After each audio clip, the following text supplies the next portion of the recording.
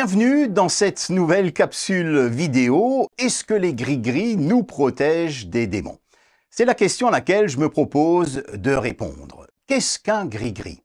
Il s'agit d'un objet censé protéger des démons, du malheur, du mauvais œil et attirer la faveur divine et la prospérité. Avec la mondialisation, les gris-gris ne se retrouvent plus simplement en Afrique, dans les Antilles ou en Asie, mais partout.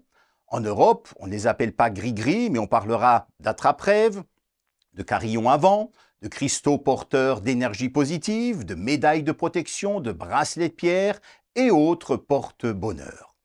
Que faut-il penser de tous ces objets qui sont censés nous apporter protection et prospérité? Eh bien, je répondrai par une autre question. En quoi sont faits ces objets? Il s'agit en réalité de bouts de tissu, de morceaux de coton, de bronze, d'argent, d'or, de pierre, de bois et d'autres matériaux, autrement dit des objets inertes, sans vie. Dans la Bible, plusieurs auteurs bibliques, notamment des prophètes, se moquent parfois de tous ces objets. C'est le cas par exemple des statues au psaume 115, on peut lire ceci. Leurs dieux sont en argent et en or, ils sont fabriqués par des hommes. Ces statues ont une bouche, mais elles ne parlent pas. Elles ont des oreilles, mais elles n'entendent pas. Elles ont un nez, mais elles ne sentent pas. Elles ont des mains, mais elles ne touchent pas. Elles ont des pieds, mais elles ne marchent pas. Aucun son ne sort de leur bouche. Que ce soit un morceau de bois, un bracelet avec des pierres ou un autre gris-gris, ces objets, en réalité, n'ont aucun pouvoir. Ils n'ont aucune puissance pour nous garder des démons ou alors attirer la chance dans notre vie. Par conséquent, nous devrions faire preuve de discernement et de sagesse par rapport à certains témoignages que nous entendons parfois. Vous le savez, certaines cultures, eh bien dans certaines cultures, on accorde beaucoup d'importance à la sorcellerie à toutes sortes de pratiques occultes. C'est parfois tellement fort qu'on se demande qui a vaincu à la croix. Est-ce que c'est Jésus ou alors est-ce que c'est Satan? Ces personnes, généralement, certes, ont une forte conscience du monde spirituel, mais il y a parfois des exagérations ou alors une surinterprétation des événements avec une importance trop grande qui est accordée à toutes ces pratiques et à leur réel pouvoir. Et ce faisant, cela peut créer de la crainte chez des personnes, et puis celui qui va être mis en avant dans tout cela, c'est le diable. Nombre 23-23 nous dit ceci, la magie ne peut rien contre Jacob ni la divination contre Israël. Et par extension, nous pourrions dire ou affirmer que les gris-gris ne peuvent rien contre les chrétiens, contre les enfants de Dieu. Le principe général, c'est que Dieu protège ses enfants, retenez bien cela. Maintenant, à côté de cette affirmation générale, à savoir que les objets n'ont aucune puissance pour nous garder des démons ou nous protéger, je vois quand même deux pouvoirs qu'on pourrait leur attribuer. Premièrement, c'est déjà celui de profiter de la crédulité des gens et ainsi d'enrichir tous ces marchands de rêves qu'on peut voir un petit peu fleurir partout. Et puis le second pouvoir est celle de l'esprit ou du démon qui peut se cacher derrière un objet. Qu'est-ce que ça veut dire? Les personnes œuvrant dans le domaine de l'accompagnement des personnes sous influence spirituelle occulte ont remarqué que dans certaines situations, un pouvoir peut être attaché à un objet et provoquer des symptômes.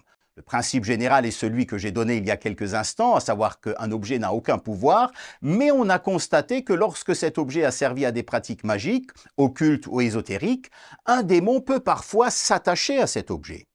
Un exemple. Un jour, j'étais au Mali pour une série de conférences et d'évangélisation. Et le dernier jour, j'ai demandé au pasteur qui m'avait invité s'il connaissait une boutique avec de l'art africain, parce que c'est quelque chose que j'apprécie. Et il m'a emmené chez un ami qui avait une jolie boutique divisée en deux parties. Une partie, c'était pour les touristes, et puis l'autre était destinée aux connaisseurs, avec des objets qui provenaient des villages, et dont certains étaient de vieux objets qui avaient servi à des rituels de magie et autres.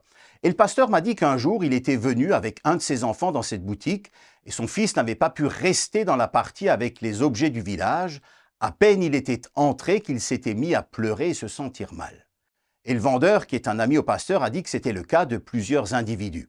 Alors ça nous montre quoi? Ça nous montre tout simplement déjà dans un premier temps que tout le monde ne réagit pas de la même manière, nous n'avons pas tous la même sensibilité au monde spirituel, et puis ça nous montre aussi que les gris-gris ne protègent pas des démons, au contraire, ils peuvent même dans certains cas les attirer. Et c'est pas pour rien que la Bible, notamment dans un passage du Nouveau Testament, nous encourage à nous débarrasser de tout objet magique, occulte ou alors lié à la superstition. Les gris-gris ou autres objets protecteurs, avons-nous dit, n'ont donc aucun pouvoir en eux-mêmes. Affirmer cela ne signifie pas que rien ne peut se passer. Je viens de vous raconter cette anecdote du Mali, j'en aurai bien d'autres aussi à vous raconter encore. Satan et les démons sont liés.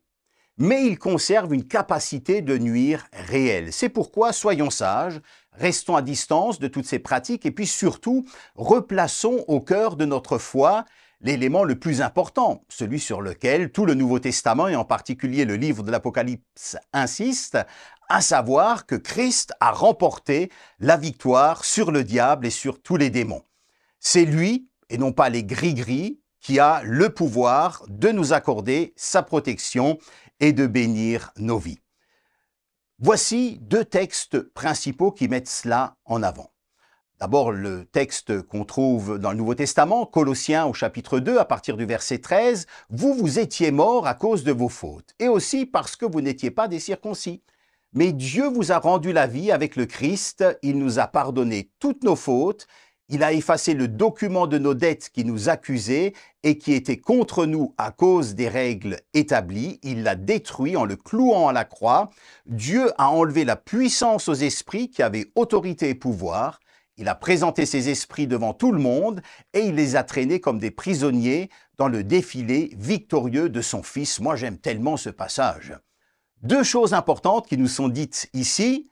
D'abord, par sa mort et sa résurrection, eh bien, Dieu a littéralement ôté, enlevé, c'est le terme grec qui est utilisé ici, pouvoir aux esprits. Ça ne veut pas dire euh, il ne conserve plus de pouvoir, mais fondamentalement c'est enlevé aux esprits, c'est-à-dire aux démons, aux puissances mystérieuses et paranormales. Et puis deuxièmement, ces puissances spirituelles sont désormais prisonnières, elles sont liées. Bien sûr, ça ne veut pas dire qu'elles ne peuvent plus rien faire, comme je disais il y a quelques instants, ou juste à l'instant, mais que leur pouvoir est limité. Et puis le deuxième passage, on le trouve dans l'épître aux Philippiens, à propos de Jésus, et au verset 7, il nous est dit ceci, tout ce qu'il avait, il l'a laissé, il s'est fait serviteur, il est devenu comme les hommes, et tous voyaient que c'était bien un homme. Il s'est fait plus petit encore, il a obéi jusqu'à la mort, et il est mort sur une croix. C'est pourquoi Dieu l'a placé très haut et lui a donné le nom qui est au-dessus de tous les autres noms.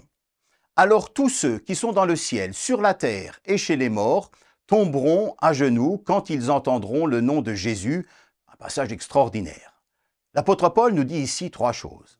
D'abord, la croix est le symbole de la victoire de Christ sur le cosmos tout entier, sur le monde visible et invisible. Deuxièmement, le Christ est le champion de Dieu, puisqu'il a obéi à Dieu. Eh bien, Dieu lui a donné le nom au-dessus de tout nom, et c'est lui qui détient l'autorité suprême. Et puis, troisièmement, ou troisième conséquence, tout être spirituel, que ce soit les anges ou les démons, sont soumis à la personne du Christ. C'est lui qui a une autorité pleine et entière, c'est lui qui est le maître. Un mot pour conclure notre propos. N'accordons pas d'importance à tous ces objets magiques, qu'ils s'appellent gris-gris, médailles, pierres de protection ou autres. Accordons notre confiance, accordez votre confiance au Christ. Lui seul en est digne et lui seul peut vous protéger et vous bénir efficacement.